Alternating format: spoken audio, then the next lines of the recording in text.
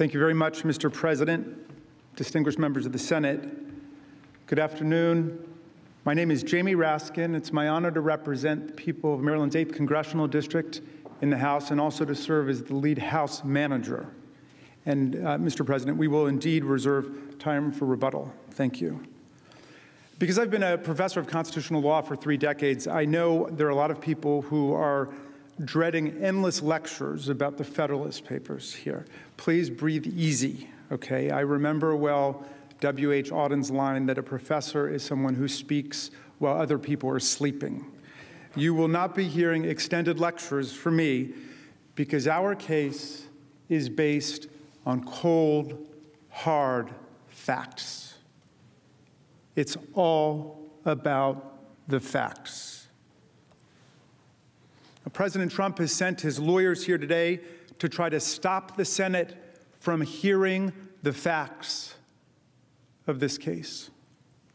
They want to call the trial over before any evidence is even introduced.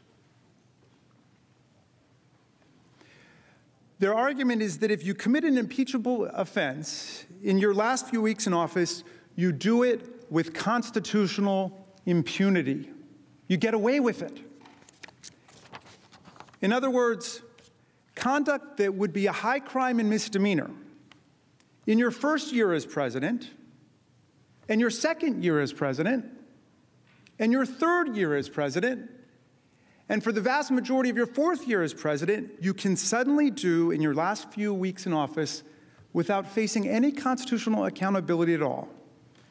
This would create a brand new January exception to the Constitution of the United States of America a January exception. And everyone can see immediately why this is so dangerous. It's an invitation to the president to take his best shot at anything he may want to do on his way out the door, including using violent means to lock that door, to hang on to the Oval Office at all costs, and to block the peaceful transfer of power. In other words, the January exception is an invitation to our founders' worst nightmare. And if we buy this radical argument that President Trump's lawyers advance, we risk allowing January 6th to become our future. And what will that mean for America? Think about it. What will the January exception mean to future generations if you grant it? I'll show you.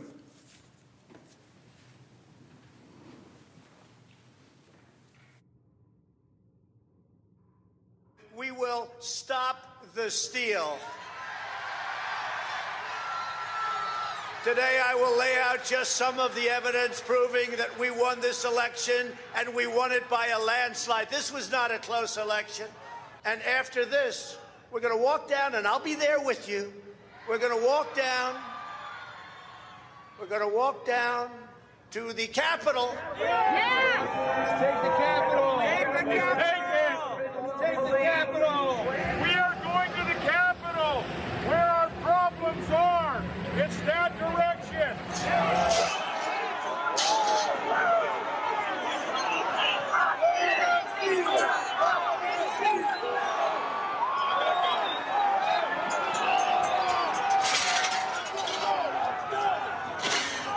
Everybody in! This way! This way! tens of thousands of votes. They came in in duffel bags. Where the hell did they come from?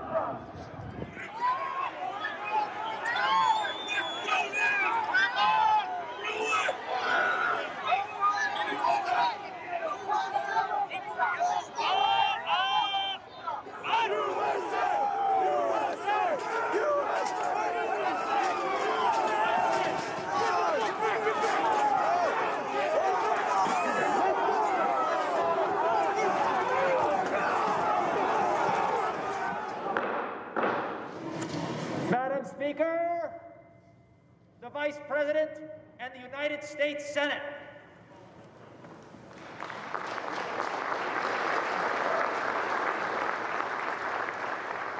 Off the sidewalk. Stand up for him. Stand up for him. We outnumber you a million to one out here, dude. Take the building! Take the building!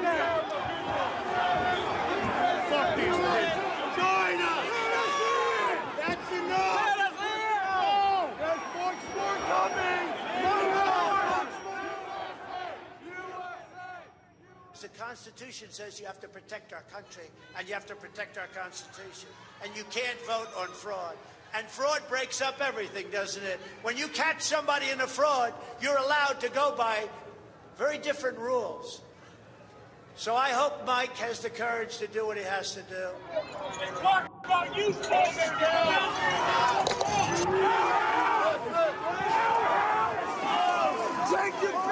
we fight.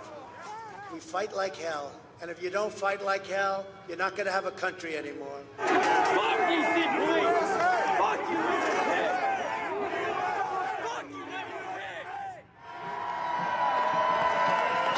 we're going to walk down Pennsylvania Avenue. I love Pennsylvania Avenue.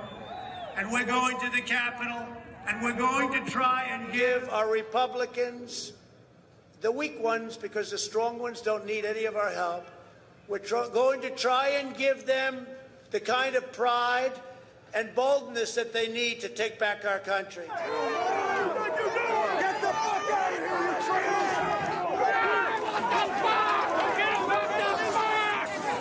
Majority Leader. We're debating a step that has never been taken in American history.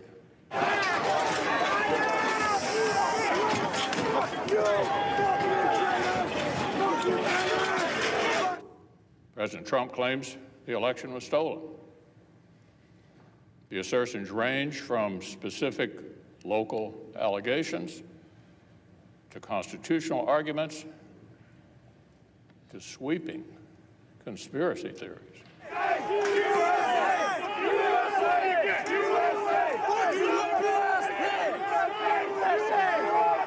But, my colleagues, nothing before us proves illegality anywhere near the massive scale, the massive scale that would have tipped the entire election.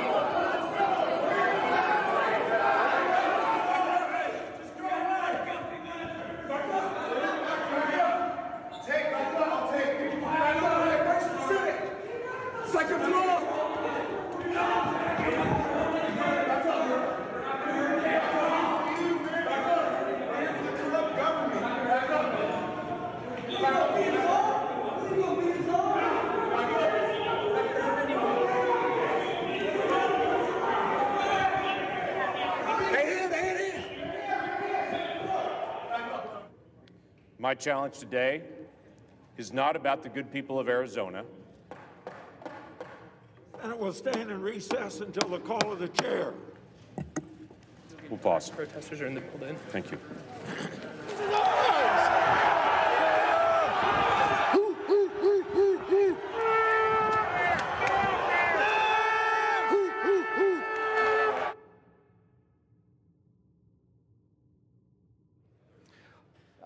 Uh, uh, Mr. Speaker, can I have order in the chamber? The House will be in order.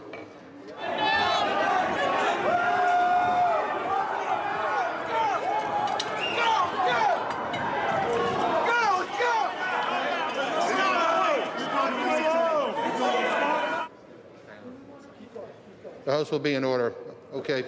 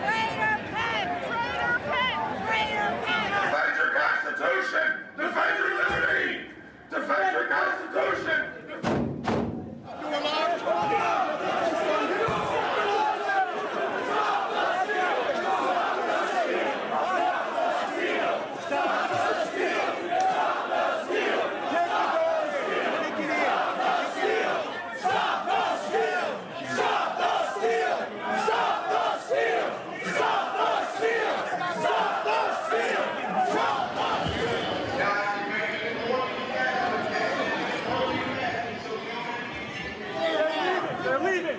They're leaving. They're leaving.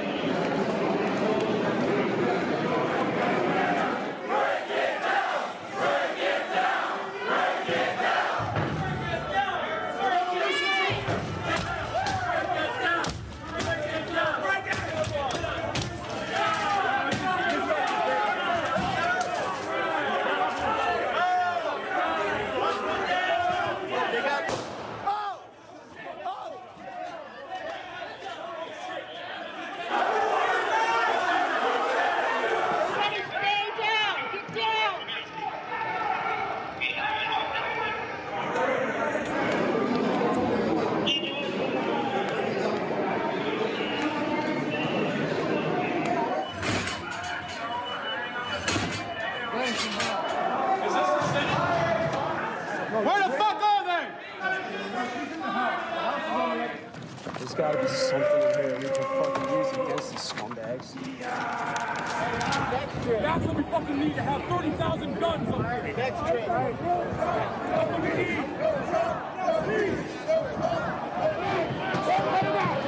Let's go! Let's go! Take it! Take it! Take it out!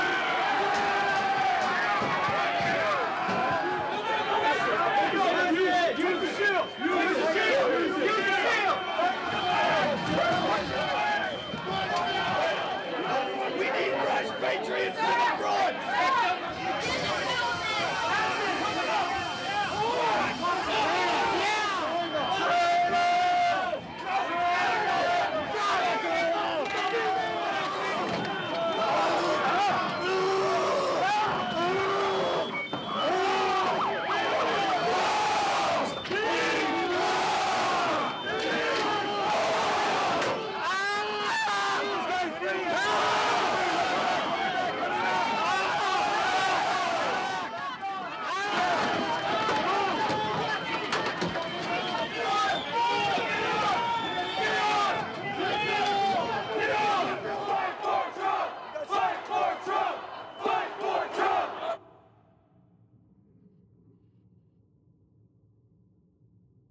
There's never been a time like this where such a thing happened, where they could take it away from all of us, from me, from you, from our country.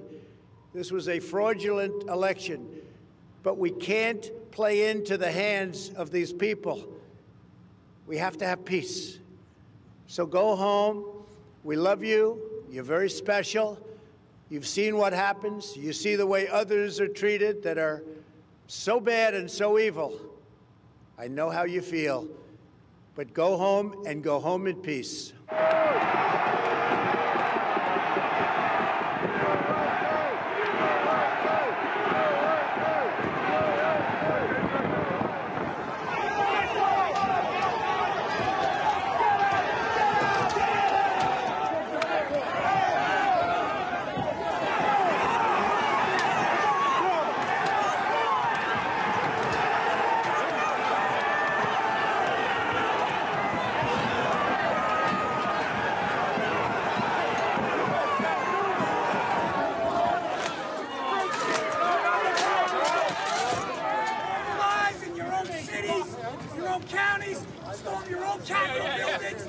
down every one of these corrupt motherfuckers! Hang them!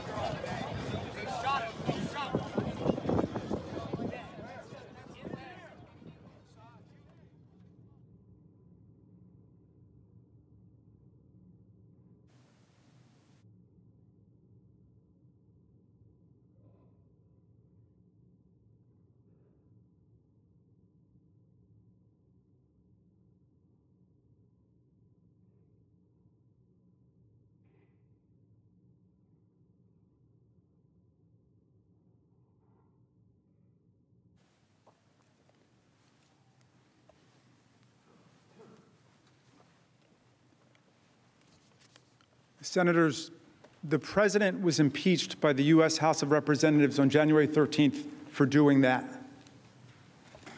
You ask what a high crime and misdemeanor is under our Constitution?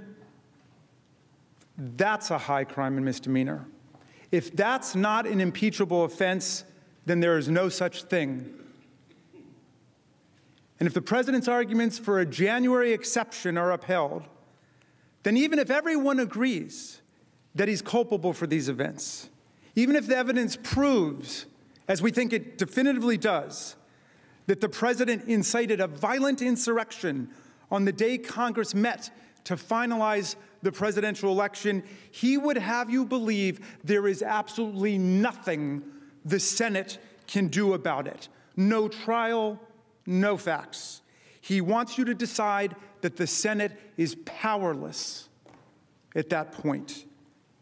That can't be right. The transition of power is always the most dangerous moment for democracies. Every historian will tell you that. We just saw it in the most astonishing way. We lived through it. And you know what? The framers of our Constitution knew it. That's why they created a Constitution with an oath written into it that binds the president from his very first day in office until his very last day in office and every day in between.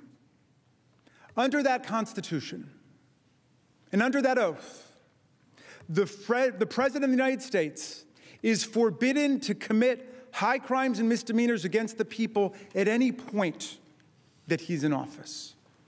Indeed, that's one specific reason the impeachment, conviction, and disqualification powers exist to protect us against presidents who try to overrun the power of the people in their elections and replace the rule of law with the rule of mobs. These powers must apply even if the president commits his offenses in his final weeks in office. In fact, that's precisely when we need them the most, because that's when elections get attacked. Everything that we know about the language of the Constitution, the framers' original understanding and intent, prior Senate practice, and common sense confirms this rule. Let's start with the text of the Constitution, which in Article 1, Section 2 gives the House the sole power of impeachment when the president commits high crimes and misdemeanors. We exercised that power on January 13th. The president, it is undisputed, committed his offense while he was president. And it is undisputed that we impeached him while he was president. There can be no doubt that this is a valid and legitimate impeachment. And there can be no doubt that the Senate has the power to try this impeachment. We know this because Article 1, Section 3 gives the Senate the sole power to try all impeachments. The Senate has the power, the sole power, to try all impeachments. All means all, and there are no exceptions to the rule. Because the Senate has jurisdiction to try all impeachments, it most certainly has jurisdiction to try this one. It's really that simple. The vast majority of constitutional scholars who studied the question and weighed in on the proposition being advanced by the president, this January exception, heretofore unknown, agree with us.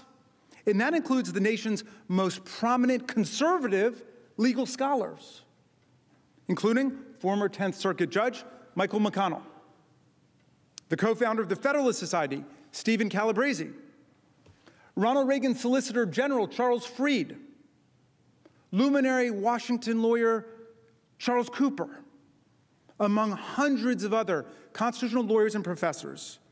I commend the, the people I named, their, their recent writings to you in the newspapers over the last several days.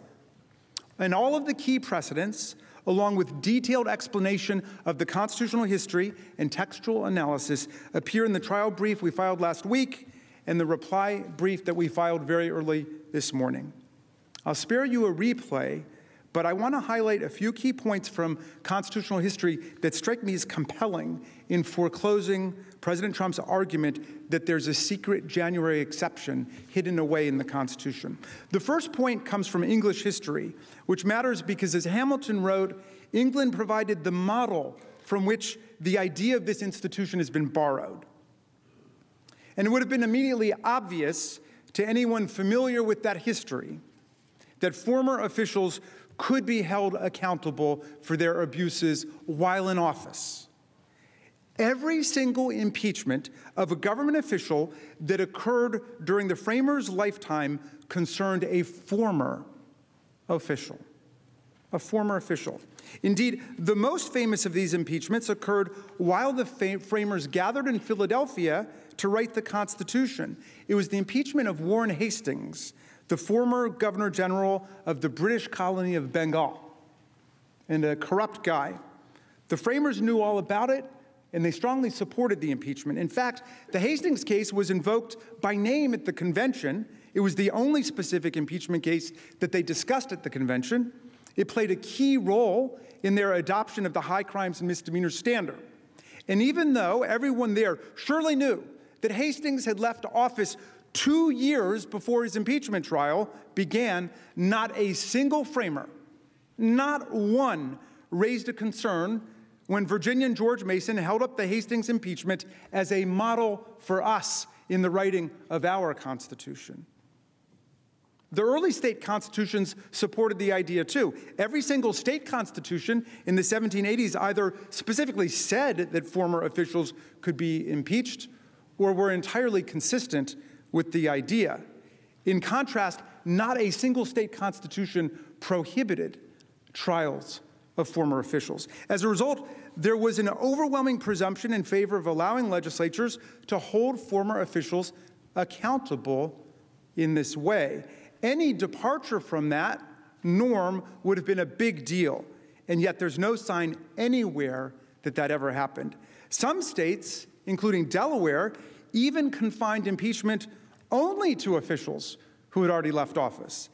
This confirms that removal was never seen as the exclusive purpose of impeachment in America. The goal was always about accountability, protecting society, and deterring official corruption. Delaware matters for another reason. Writing about impeachment in the Federalist Papers, Hamilton explained that the President of America would stand upon no better ground than a governor of New York and upon worse ground than the governors of Maryland and Delaware. He thus emphasized that the president is even more accountable than officials in Delaware, where, as I noted, the Constitution clearly allowed impeachment of former officials. And nobody involved in the convention ever said that the framers meant to reject this widely accepted, deeply rooted understanding of the word impeachment when they wrote it into our Constitution. The convention debates instead confirm this interpretation. There, while discussing impeachment, the framers repeatedly returned to the threat of presidential corruption aimed directly at elections, the heart of self government. Almost perfectly anticipating President Trump, William Davie of North Carolina explained impeachment was for a president who spared, quote, no effort or means whatever to get himself reelected. Hamilton in Federalist 1 said the greatest danger to republics and the liberties of the people comes from political opportunists who begin as demagogues and end as tyrants, and the people who are encouraged to follow them.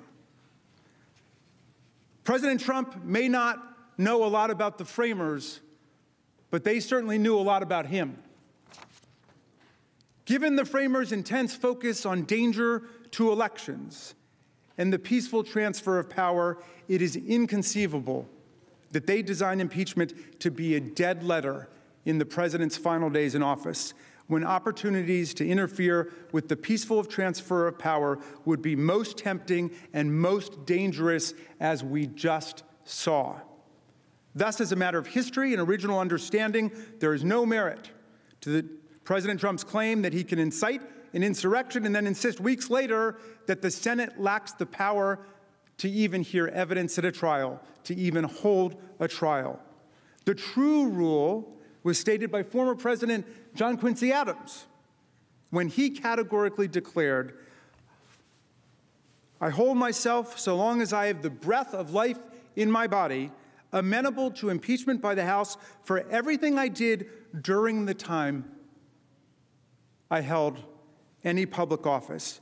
When he comes up in a minute, my colleague, Mr. Neguse of Colorado, will further pursue the relevant Senate precedents and explain why this body's practice has been supported by the text of the Constitution. And Mr. Cicilline of Rhode Island will then respond to the fallacies presented by the President's counsel. And after these gentlemen speak, I will return to discuss the importance, the fundamental importance of the Senate rejecting President Trump's argument for the preservation of democratic self government and the rule of law in the United States of America. I now will turn it over to my colleague, Mr. Neguse of Colorado.